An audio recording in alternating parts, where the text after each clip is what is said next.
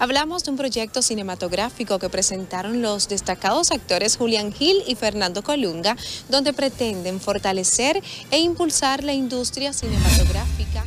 Se trata del Festival de Cine Cana Dorada que llegará al país del 16 al 20 de enero del 2020. La finalidad es traer a productores extranjeros de renombre para que ellos descubran las bellezas que hemos descubierto nosotros y entonces hay un impulso a un nivel mucho mejor, con mucho más trabajo, con mucho más profundidad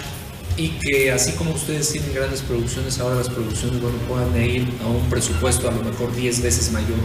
Esos productores, esos grandes productores que andan por el mundo buscando locaciones, descubran lo que ya descubrimos nosotros. El primer día está dedicado al, al Lo vamos a dedicar completamente No le podemos decir todavía eh, cuál va a ser la cine película que, que vamos a presentar, pero sí, el primer día va a ser obviamente una película de estreno de aquí de